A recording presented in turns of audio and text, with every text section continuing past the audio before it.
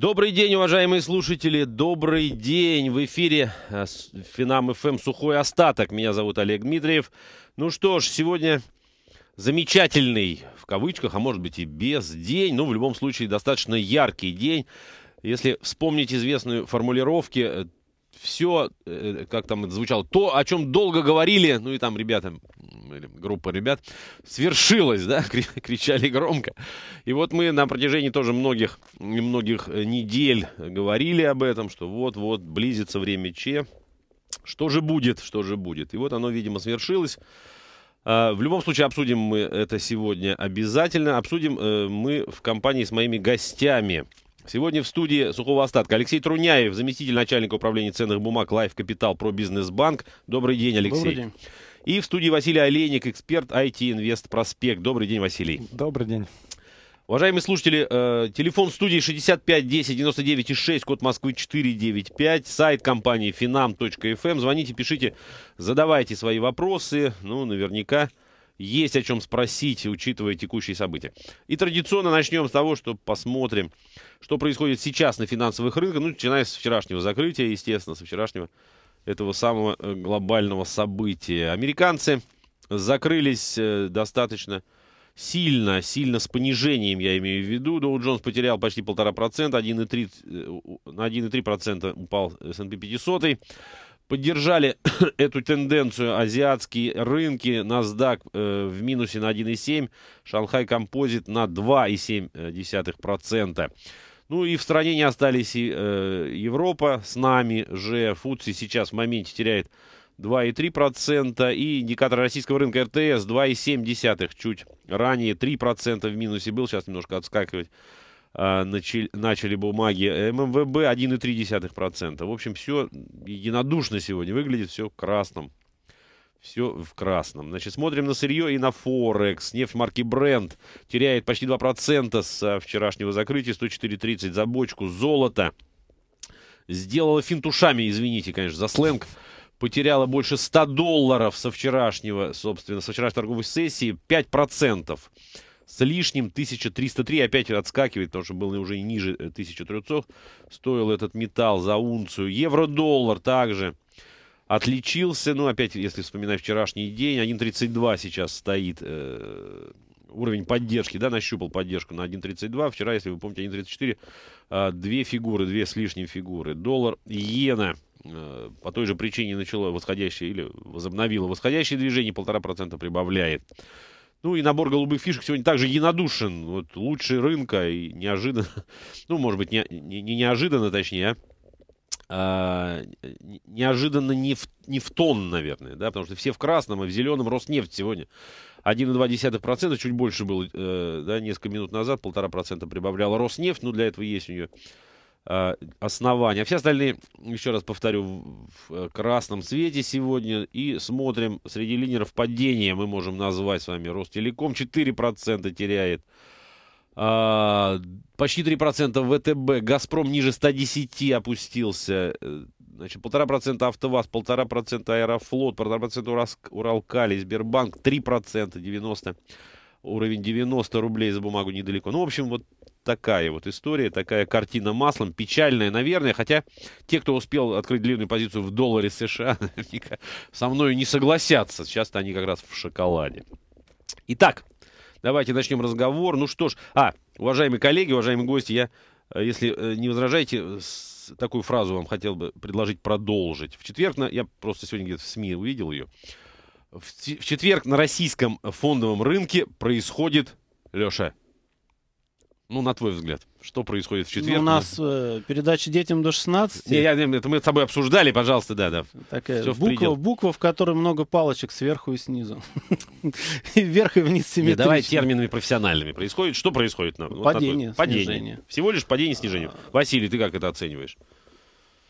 Ну, паника это вообще не назовешь. Не и, назовешь. Э, честно говоря, российский рынок-то сегодня смотрится вообще лучше, чем в европейский, американский, и азиатский. То а мы, за, счет, мы, за счет чего он слушает? А, ну, Падает с, э, быстрее? Почему он смотрится сегодня лучше? Однозначно, это за счет курса национальной валюты, который ага. ослабл. То есть это на руку нашим экспортно-ориентированным компаниям. Мы видим, что он не так уж и плохо смотрится наша нефтянка, то есть он Газпром, ну, Газпром, да, сейчас чуть похуже, Лукойл минус 0,5, а, Роснефть растет, ГМК почти не снижается там. Ну, то есть, в принципе, а, минус 1,3 по индексу ММБ, то есть это не так много, глядя на остальные европейские площадки. И видно, что сейчас идет фиксация коротких позиций крупными игроками. Ну, То, что вот а, я сейчас вижу на мониторе, то есть мы видим снижение открытого интереса по фьючерсному индексу РТС, причем оно уже снижается уже несколько часов, то есть кто-то, тот, кто набирал короткие позиции, сейчас их потихонечку разгружает. То есть э, не исключено, что здесь мы увидим а, приблизительно на текущих уровнях мы увидим локальный разворот рынка. Ну, по крайней мере, я на эту ставку все-таки сделал. Ага. Василий, вот искренне тебе хочу ск- сказать спасибо, во-первых, да, и восхититься тобой. Вот в данном случае э, вообще нет э, да, оснований для оптимизма. Вот, э, да, Василий сказал все, все так, что я сразу успокоился и подумал, что не, не так все и плохо. Так а когда страшно, когда, когда вот сегодня была планка по фьючерсный индекс РТС, да, вот Ага. хотелось купить. Вот самый тот момент, когда вот э, страшно все, ты понимаешь, вот они пошли, ну, маршрут так это падающий нож, Вот. мы же знаем, как это, чем это ну, так заканчивается. э, если вы играете без больших плечей, то Ага. почему бы и не зайти? То есть вы же понимаете, что, э, да, рынок может пойти чуть ниже, там процент 2-3, но Мгм. если заход без плеча вы делаете или формируете портфель без плечей, ну, не столь это великие колебания. Рынок сейчас упал э, индекс РТС, по-моему, сейчас с начала года упал уже, по-моему, процентов на 18, Ага, наверное, ага. там, да. То есть, в принципе, э, неплохая возможность для покупок с перспективы хотя бы на полтора месяца. Тем Ну, более- опять с расчетом того, что э, на 20% почти он упал, и уже, наверное, ниже не пойдет, да? Вот так, ниже, так нет, рассуждаю. всегда надо готовить, что может быть еще и хуже, но опять же поставьте защитный стоп хотя бы в процентов Да, 2-3, да, то да. есть от формированных позиций, и нет проблем. Согласен, согласен. Всегда есть стопы для этого дела. Но, тем не менее, смотрите, вот фразу, которую я вам предложил продолжить, она полностью звучала так. В четверг на российском фондовом рынке происходит обвал.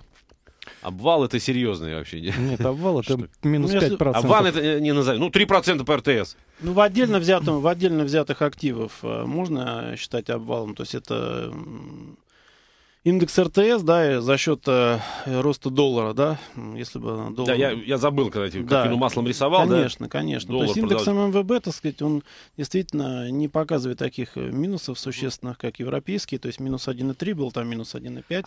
Леш, извини, пожалуйста, перебью. Вот смотри, ты предлагаешь э, э, оценивать, да, падение индекса РТС э, 3%, учитывая вот э, ди- Да, динамику рубля, да, да, и конечно, какой да. дисконт. А если с другой стороны посмотреть, ММВ падает всего лишь на полтора, потому что рубль э, ослабевает. А если бы рубль стоял, Нет, это было нет, бы я 5%. на самом деле, я на самом, ну как бы, по- как говорится, нет худа без добра. Мгм. А Дело в том, что наш рынок, э, он уже па- падает-то практически 4 месяца, и рос только в январе. А Западные рынки, и Европа, и Штаты показали хороший первый квартал.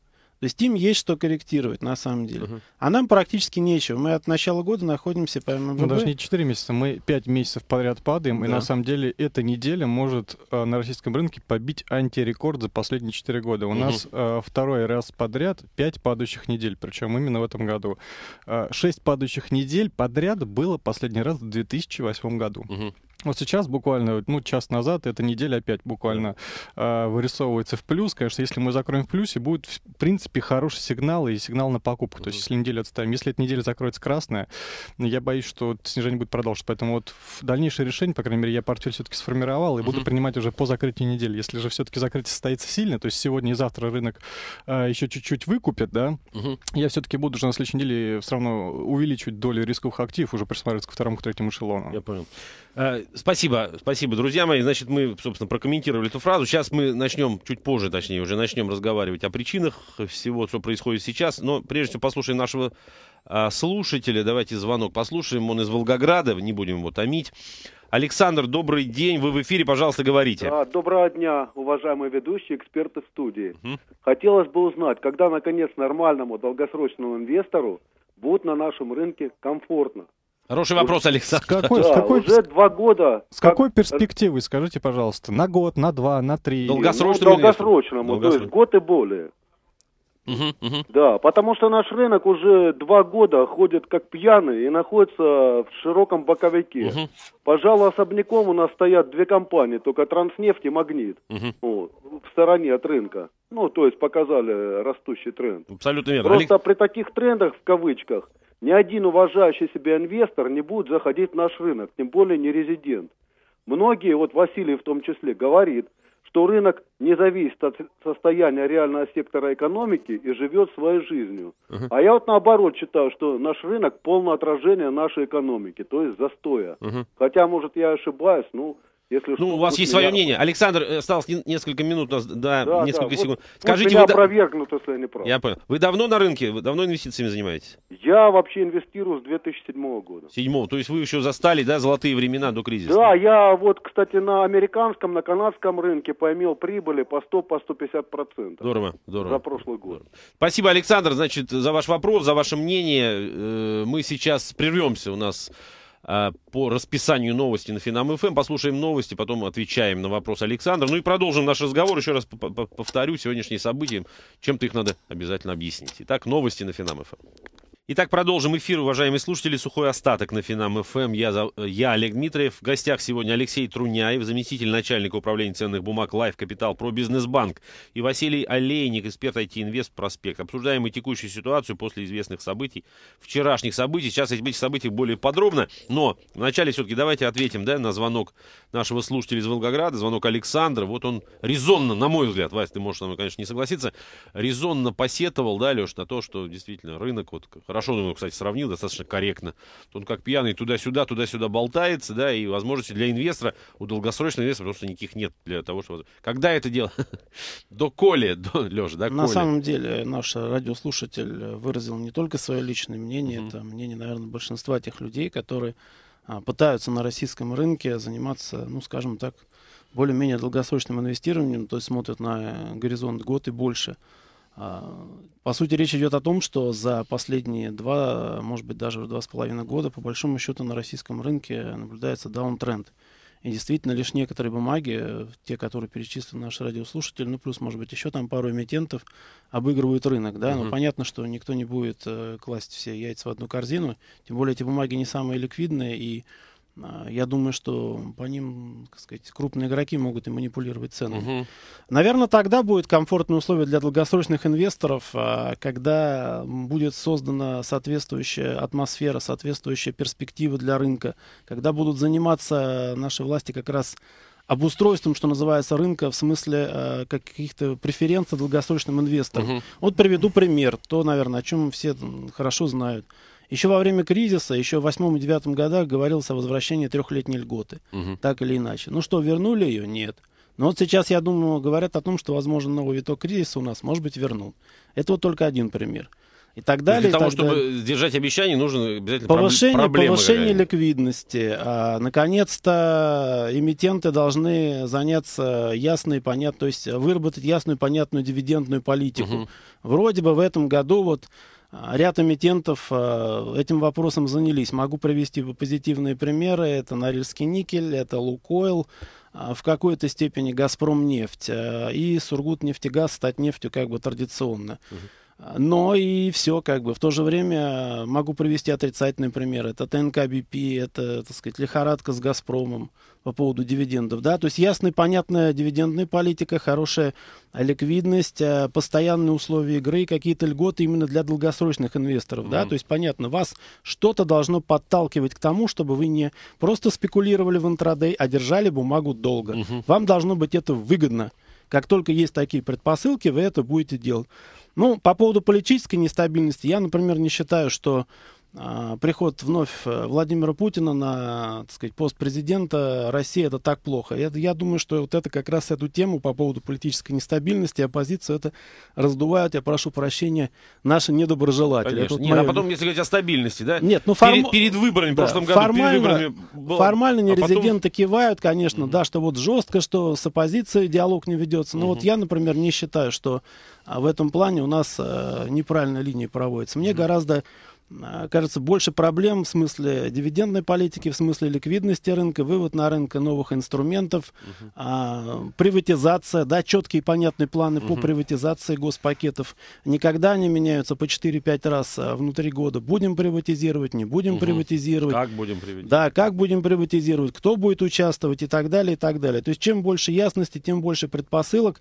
А, ну, верится в лучшее, верится, что когда-нибудь доживем. Mm. Вот здесь же можно сказать, как говорится, нет худа без добра. В этом году действительно никакого практически притока не было. Серьезного фонда, который инвестирует в Россию. Может быть, поэтому нет и сильной коррекции. Потому что прошлые два года был серьезный выход весной, был серьезный выход, был отток. И в том числе из нефтегазового сектора, который нерезиденты, в общем, традиционно любили. Сейчас как бы вроде выходить-то особо некому, все убежали. Угу. Поэтому наблюдаем, так сказать, отдельные попытки российских более-менее крупных игроков поддергивать, плюс заходят какие-то деньги а, изредка в западный фонд небольшие. Вот проходит какая-то покупка, ее хватает реально там на полдня. Поддергивают индекс плюсе, потом все опять валится. Поэтому угу. здесь я говорю вот так, нет худа без добра. Может быть, может быть, это нас спасет от той коррекции. Мы, я говорю еще раз, ничего не показали в первом квартале, у нас отрицательно первый квартал. Нам, в общем-то, и корректировать особо нечего. Мы в даунтренде два года находимся. Uh-huh, uh-huh, uh-huh. Может быть, это нас спасет. Василий, ну, у меня взгляд на Давай. долгосрочные инвестиции. Ну, сразу скажу, что ближайшие года полтора э, долгосрочных инвестиций, конечно, ловить на рынке не стоит. Э, рынок продолжит колебаться плюс-минус 20-30%, и никакого ралли, как это было там в 6-7 году, мы не увидим, пока рынок не упадет хотя бы процентов на 40 с текущих. То есть до отметки там, хотя бы 900 пунктов по индексу ММБ. Возможно, это будет там через год, через полтора. А, не знаю, загадывать не хочу, но uh-huh. до тех пор, пока это не случится, мы не увидим. Что же касается а, почему так вообще с российским рынком происходит, это не а, частный случай. То есть не надо брать здесь Россию. Это происходит со всеми абсолютно emerging market, со всеми uh-huh. развивающимися площадками. Везде только капитал, везде негативное отношение к всем площадкам. К Бразилии, к Индии, к Китаю, к Турции, там, я не знаю, где угодно. Факторов риска много. Бегут деньги с этих площадок. Поэтому э, Россия здесь не выделяется из всех. У нас отток капитала с начала года уже полтора миллиарда долларов. Это гигантская сумма, то есть здесь нет денег нерезидентов. И без разницы, что будет проходить у нас в компаниях, в правительстве, без разницы. Это мировая конъюнктура. Угу когда э, деньги пойдут в развивающиеся площадки, без разницы, что будет твориться в России, что будет твориться с рублем, что будет твориться с Газпром, будут грести все подряд. Mm-hmm. если взять, что наш рынок малоликвидный, то за, заход хотя бы там 300, 400, 500 миллионов долларов на протяжении там двух месяцев, да, а, даст нам рост процентов 20. Mm-hmm. Если вы уже э, занимаетесь инвестициями, там, да, чем, я вот не понимаю, э, почему все так хотят ждать какой-то вот купил, и чтобы все выросло на 70%. Ну... Чем плох текущий рынок? Если вы видите, что он три года в боковике, Япония была 7, 7 лет, по-моему, или 10 лет почти в боковике. Угу. Почему э, э, вы... Не зарабатывать на боковике? Да, не зарабатывать на боковике. Рынок упал на 20%. Купите, Рынок вырос на 20%, продайте. Рынок купил, на, упал на 20%, заново купите. В чем проблема? И так три года, каждый год на рынке, вот последние три года на рынок, рынок все время падает на 20-25%, потом угу. отрастает. Угу. Уже три года подряд. Вот сейчас рынок неплохо скорректировался. Ну, купите его, играйте в этот БКИ. В чем проблема? Если увидите выход из БКК, оставьте позиции, угу. нет проблем. Угу. Я понял. Хотел бы просто дополнить то, о чем говорит Василий. Как правило, вот эти колебания — это инвестирование цикл э, лето-зима. Угу. Да. То есть, сформировав позиции летом и зафиксировавшись с января по там, март-апрель, можно заработать там и 20, и 30 процентов. В общем-то, здесь ни, никакой У нас фантастики нет. по шаблону, да, последние три года рынок да. чи- чисто по шаблону идет. Если говорю, откройте месячный таймфрейм и посмотрите последние три года. Чисто все по шаблону. Mm-hmm. Поэтому либо вы играете в эту игру, в боковик, либо ждите, пока рынок упадет процентов на 40, потому что с текущих уровней я от роста больше, чем на 25 процентов. То есть, слава богу, если рынок э, по итогам года покажет вообще хотя бы плюс там 5 процентов. Mm-hmm. То есть это вот, я не знаю, там может как-то Олимпиада в Сочи повлияет или там еще чего-то, хотя игру. Э, вот в сентябре, если все-таки будет сокращена программа выкупа актив в США, я не знаю, что там будет на рынке, даже загадывать не хочу. Но будет падение хорошее.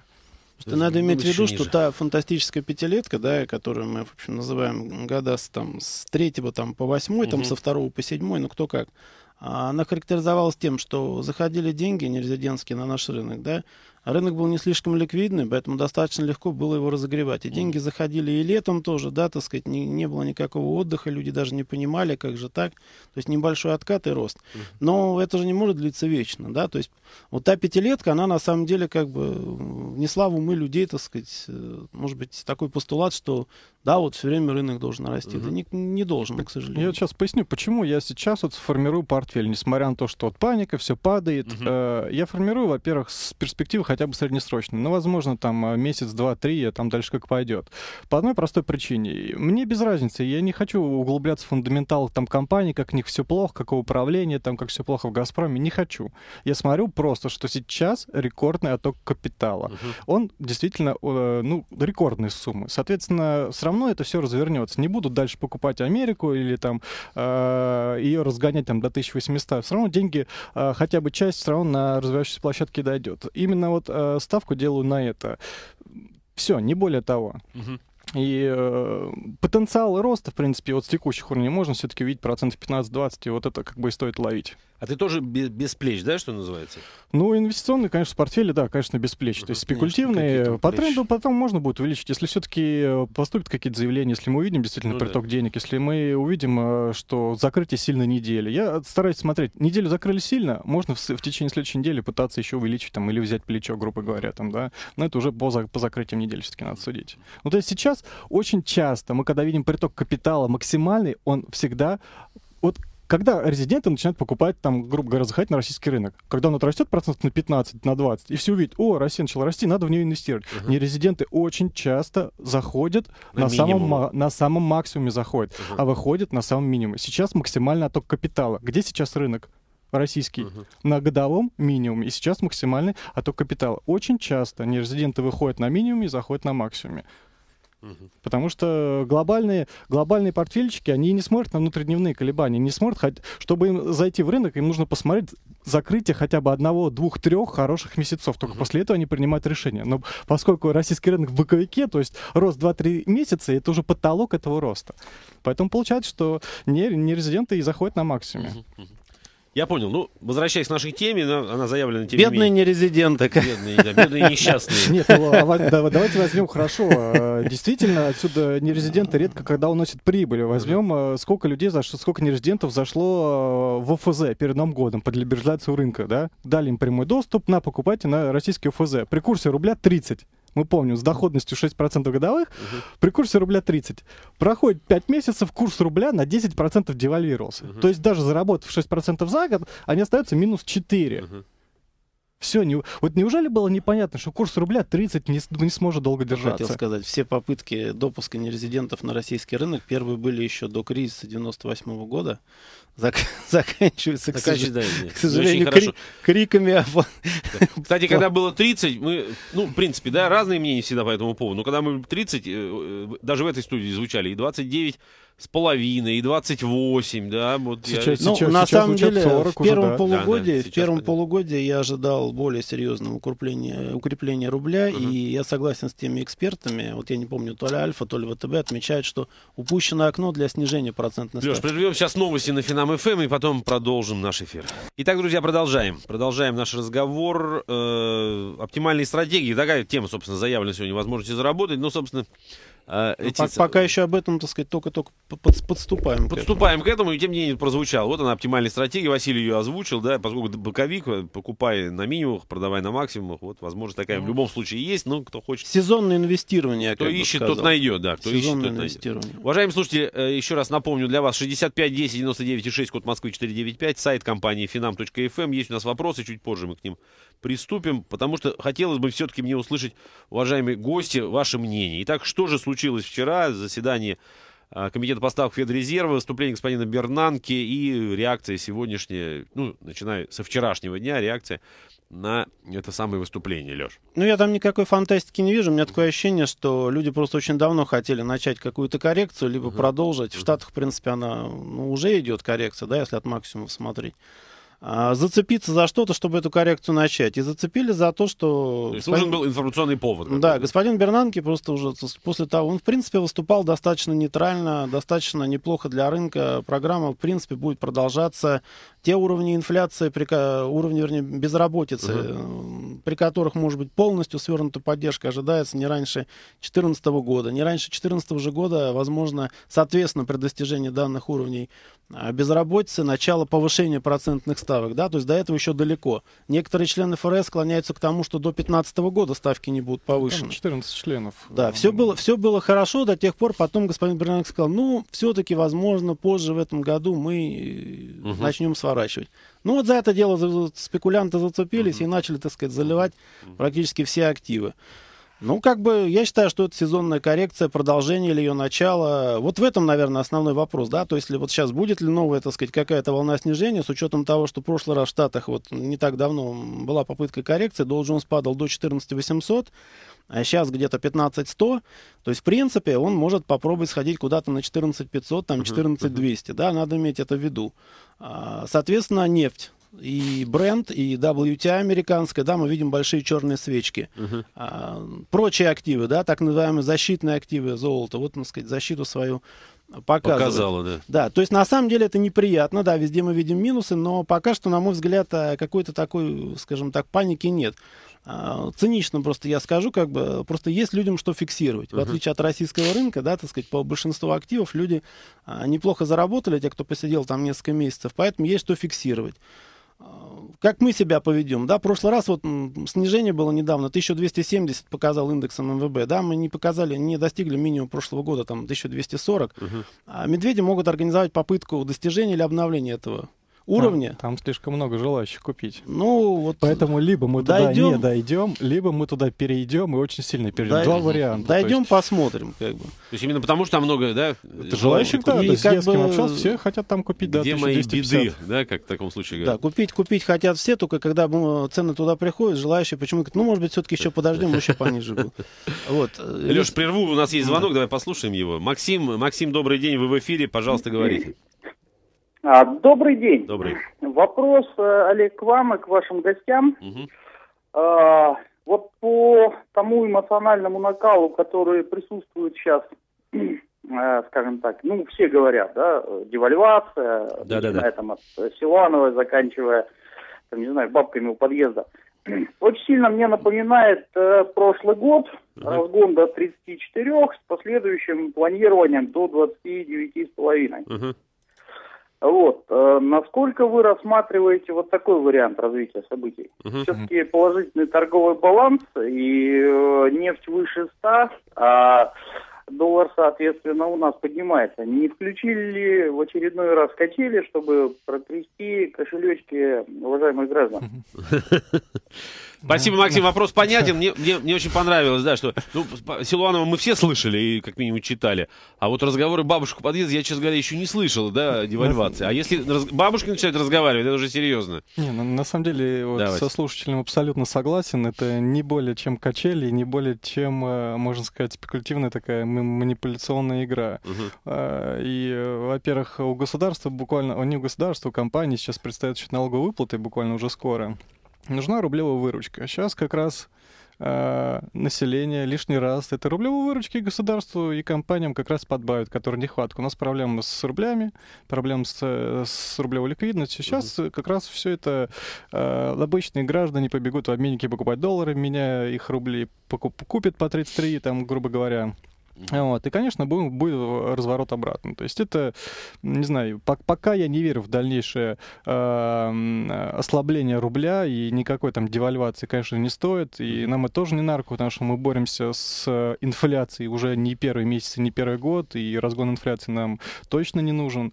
А вот, поэтому пока там э, выше 34 там, ну, точно не будет. Угу. И даже здесь, я думаю, что уже где-то вот 33 это уже, по идее, потолок.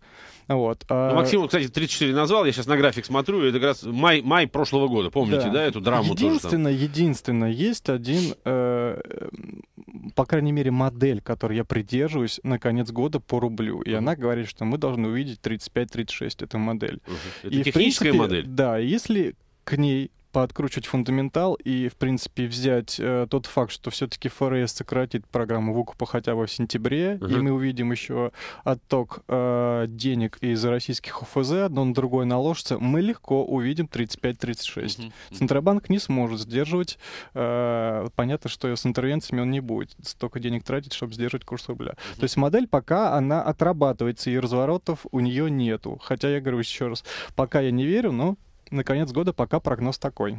Я понял. Леш. Я вот соглашусь с тем, что Василий сказал в конце по поводу этой модели. Значит, что хочу сказать, что, ну, ближайший там диапазон 33, там 33-50, да, пометую прошлый год, как бы, да, понятно, что, наверное, при приближении там либо 33-50, либо 34 будет сопротивление, но я считаю, что в этом, в этом году ситуация более серьезная, то, о чем Василий сказал, собственно, uh-huh. не буду повторяться, кто внимательно его слушал, может произойти, да, и сворачивание КУЕ, и отток, э, так сказать, денег из ОФЗ, и, соответственно, никто не будет сдерживать, и мы действительно можем получить в районе 35 вот те самые 10%, о которых было сказано. А еще непонятно, где будет нефть на самом деле. Потому Да, что там да. достаточно большая спекулятивная составляющая, на что она будет реагировать. То ли на экономические показатели и статистику Мгм. из США и Китая, да, основных а, потребителей, то ли на какие-то, так сказать, политическую нестабильность и какие-то военные действия. Непонятно, как там еще развернется. Как говорится, фиг его знает. Мгм. Вот. Сегодня господин Задорнов высказывался, вот на Блумберге было сообщение, он сказал, что пока нефть выше 100 долларов, нам бояться нечего. Да, но мы же все с вами прекрасно помним, что спекулянтам уравнить, уронить нефть там ниже 100 долларов, в общем-то, я думаю, не составит никакого Конечно, труда. нужен небольшой повод. Да, этого. по крайней мере, куда-нибудь в диапазон там бренд, он загнать снова там 93-95, да, не вопрос. Поэтому, как бы, он, конечно, прав, но надеяться на то, что, да, вот пока выше 100, я бы не стал возлагать большие надежды. Поэтому, э, да, как бы уровни сопротивления или диапазона сопротивления обозначили, да, но вот пометуя то, о чем сказал Василий, то в этом году, считаю, ситуация более серьезная. И просто одними, так сказать, вытряхиванием денег из кошельков, наверное, объяснить, э, к сожалению. Мгм. Было бы хорошо, если бы было дело только в этом, да, Мгм. как бы сейчас, вот сейчас вытряхиваем, завтра перестали. Нет, тут есть более серьезные факторы. То есть вот ло- локально где-то вот здесь вот рубль, по идее, сейчас на а, минимальных отметках. То есть 33 выше пока я не жду. А вот, а вот в сентябре как бы мы уже не можем загадывать, мы не гадалки. и Не, можем- гада- гадать не будем. Ну, да, логическая хуже всего. цепочка, Ну, по логическая, крайней да, мере, да, представлена, да, и радиослушатели могут сами оценить, насколько она достоверна. Мне кажется, что она весьма достоверна. То есть что бы я делал? Если, Весьма бы, вероятно. если бы рубль опять опустился к отметкам 31,5 где-то, Мгм. я бы точно его покупал. У доллар, в смысле, доллар. Понятно. То есть вот 31,5 это для покупки в любом случае это неплохой вариант. Там. Это можно держать. Сейчас, Ага. сейчас покупать уже доллары поздновато. Я думаю, Я- сейчас где-то максимум. Я понял. Если позволите, да, я все-таки немножко еще подкорректирую э, ваш ответ в том плане, что эти рекомендации, безусловно, не э, обращены к, э, ну, если позволите, рядовым слушателям, да, которые владеют инструментом под названием обменный пункт. Да, да. Потому что это, да, этот инструмент, он вычеркивается из перечня, да, возможных финансовых инструментов, или там э, технологий, точнее, да. Если у вас нет брокерского счета, если у вас там нет э, счета на срочном рынке, да, или там даже сейчас уже на бирже, то все это только вот Нет, просто... ну сейчас при некоторых банках, почему обменный курс, они плюс-минус там несколько копеек всего, то есть люди практически не теряют ничего на Ну, разные курсы. Здесь с точ- с точки зрения рядового обывателя можно что посоветовать с учетом да, как предстоящей возможной волатильности и возможного роста курса доллара. Не спешите, если вам будут предлагать валютные кредиты. Потому что порой, порой очень, так сказать, Совершенно предлагают под невысокую ставку, да, Да-да-да-да. как бы зная, Пол- зная, да, да, те- текущую конъюнктуру. прогнозируя, прогнозируя. Вот об этом речь, собственно. да. э, да, я так пред- представляю, да, почему это интересует обычно, обычного человека, который не занимается там Да. валютными спекуляциями. Потому что он какую-то перспективу для себя. Старайтесь, старайтесь. Совершенно Если верно. Я получаете сам- в рублях, берите Да, кредиты я собрался рублях, кредит брать, да, Кто- вот Кто-то по, по 30 рублей за доллар взял кредит, да, со ставочкой там хотя бы небольшой. Вот на 10% Да. уже попал, Как бы если не- зарплата в рублях. Совершенно верно. Не всегда получается быть, скажем так, умнее рынка и умнее кредитора. Вот, то есть, еще раз повторю, да, наши разговоры вокруг э, неких валютных рисков, да, Да, сводятся к тому, чтобы, да, это, это- Посоветовать просто это, да, это быть не, осторожным. не рекомендации вот именно к действию какими-то, а чтобы Подумайте как следует. просчитывали, да, ваши долгосрочные, э, долгосрочные программы. И еще один вопрос сюда же, собственно, мы практически на него уже ответили. Юрий пишет, здравствуйте, уважаемые гости, скажите, пожалуйста, в пятницу, я так понимаю, вот именно конкретно завтра, доллар будет укрепляться? Или как на прошлой неделе, помните, да, тоже прошлой неделе была волатильная у нас, сделали 32,60, потом сразу же упали на 31,80. Ну, сильного отката вниз, наверное... Или как жда- на прошлой неделе пойдет сильный провал вниз. Вот Нет, сильного вот. провала вниз, я думаю, ожидать не стоит. Мгм. То есть модель прошлонедельная, она уже вряд ли сработает. Ну, я думаю, что нет. да. Пока выше 33 прыгать не должны мы. По- Кстати, вот сейчас я смотрю на график, да, в тек- текущий, он немножко корректируется, но сегодня мы сделали уже 32,90 по сути. Ну Да, да, текущий сейчас 33, 32,67, да, и открылся он с, большой, с, больш- с большим разрывом все же. Как раз вот где-то в районе 32,40. 32. Нет, там скорректироваться копеек на 20 или 30, это может завтра, но я думаю, не больше, не стоит обольщаться. Просто еще в чем фишка, э, начинается период экспирации на американском рынке фьючерсных и опционных контрактов, поэтому завтра, может быть, там торговля спокойная, Мгм. и игроки перенесут, э, скажем так, тяжесть, активность свою на следующую неделю. Мгм. Поэтому расслабляться не стоит. Но я бы еще хотел все-таки тоже э, свои, наверное, поделиться какими-то своими приоритетами с радиослушателем. Мы говорим по поводу... Понятно, что сказали про сезонный фактор, да, что, так сказать, можно подбирать, можно собирать портфели. А, Я думаю, что, да, наверное, летом сейчас можно рисковать и формировать портфели. А, Я, наверное, дам рекомендации для более консервативной части радиослушателей и инвесторов. Мне кажется, что нужно обратить внимание на те бумаги, которые качестве поддержки имеют неплохую дивидендную перспективу. Это Норильский никель, это Газпром нефть, mm. это Лукойл, это Сургутнефтегаз, это Татнефть. При определенном раскладе, возможно, сберегательный банк. Вот эти бумаги. То есть там, где декларирована, так сказать, стабильная политика, стабильная дивидендная политика, Норильский никель вообще можно прогнозировать, что за текущий год, за 2013 год, в следующем году будет выплачено примерно 600 рублей на акцию можете легко посчитать, какая дивидендная доходность. Угу. И почему-то бумага как бы волшебным образом, она проваливалась ниже, чем 4,5 тысячи, но быстро оттуда выскочила. То есть я, честно говоря, тоже, в общем-то, технически ждал движения пониже, в районе 4 тысяч. Это тоже нравится бумажка. Это много, много покупателей, да. То есть просто очень э, понятно то, о чем Вася говорит, да, если придут деньги нерезидентов, да, наверное, в итоге будут как бы грести все, но нужно иметь в виду, что, я думаю, нерезиденты просто они сами-то будут грести не все бумаги, да, они будут подбирать, в том числе они очень любят э, высокодивидендные бумаги, э, любят ликвидные фишки, а уже наши зайчики, наши спекулянты будут грести уже то, что сильно упало, продисконтированно, энергетику, там, и так далее. И поэтому вот широкий фронт, но как бы акулы поплывут в определенных каналах что называется. Uh-huh, uh-huh. Вот, и я бы все-таки, наверное, вот как бы Василий полностью сформировался, я бы, наверное, рискнул сейчас еще подождать, посмотреть, на чем, чего я как бы боюсь, да, боюсь, возможно, второй волны захода в район 1200 uh-huh. по ММВБ. Поэтому соблюдаем осторожность. И даже с технической стороны это вполне возможно. Ну да, я, к сожалению, нельзя это исключать. Сейчас еще раз новости, потом продолжим. Итак, друзья, мы продолжаем эфир. Сухой остаток на Финам ФМ. Собственно, сразу давайте продолжим разговор. Э, вот обозначенные мною темы, собственно, выступление Бернанки мы обсудили, ситуацию с российским рублем. Если позволите, уважаемые э, гости, вопрос я еще один процитирую, ну, сюда же, по крайней мере, в эту же тему. А, пишет наш слушатель, пугают темпы инфляции. По сравнению с прошлым годом идет рост на некоторые группы товаров и услуг от 0,3 до безумных 7%. Плюс постоянное падение индекса РТС и же все с ним.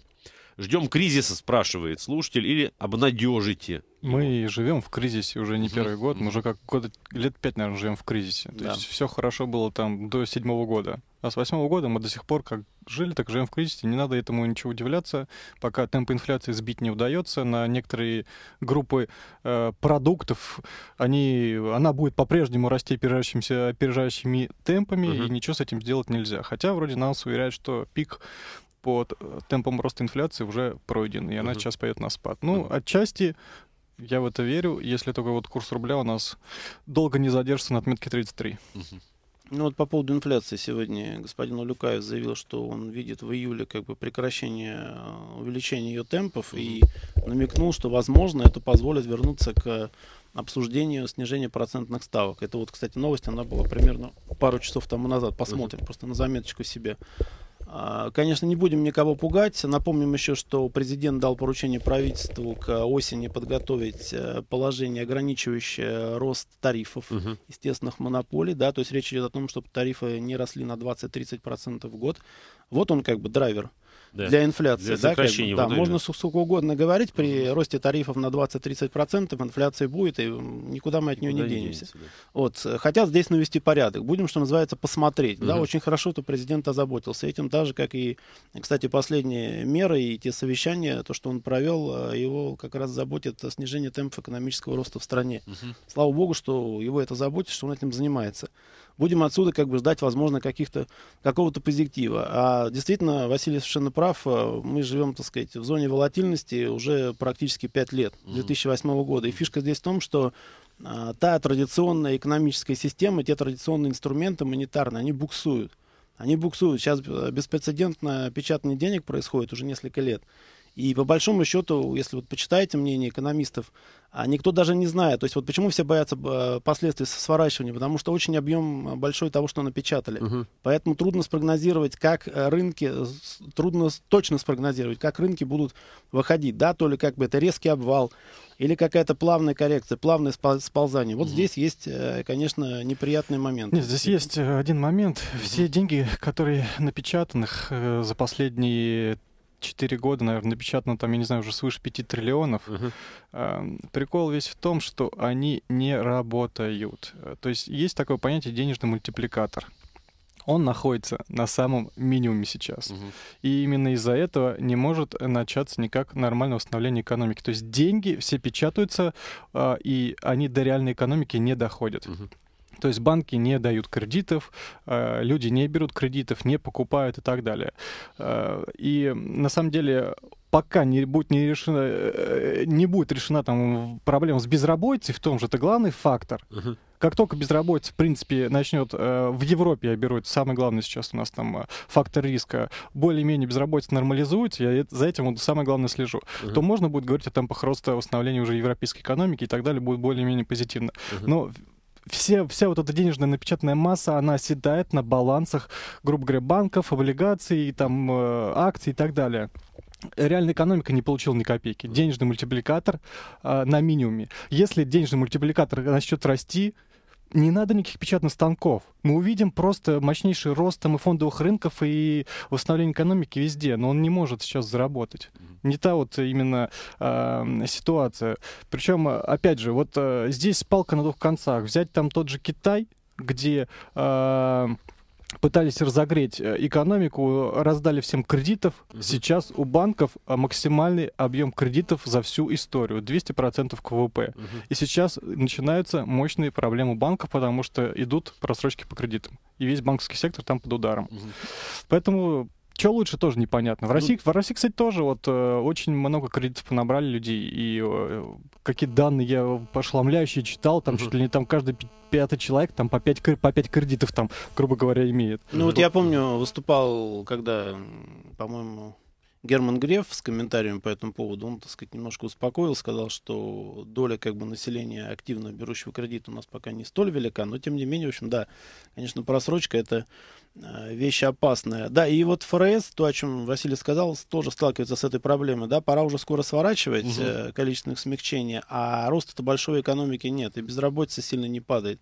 И вполне возможно, что придется ФРС начать сворачивание своей программы, не дождавшись каких-то да. как, какого-то вот прорыва, прорыва да, в области экономики. Потому что деньги уходят, так сказать, на какие-то спекулятивные нужды. Не идут вот они ну, сразу. Так, может быть, в этом причина, что они собираются сворачивать э, количество ну, И в этом, конечно, причина, да. Что потому что они... Ну, от него мало, Не да, могут они, да, они не имеют права, как профессионалы, способствовать какому-то... Э, Пузырю. Да. Угу, надуванию пузыря. Им придется, придется сдувать его. Кстати, вот мы за эфиром, да, сейчас э, обсуждали и эту тему, и тему, э, связанную с Японией, Василий, да, вот там тоже достаточно интересная история, потому что сейчас...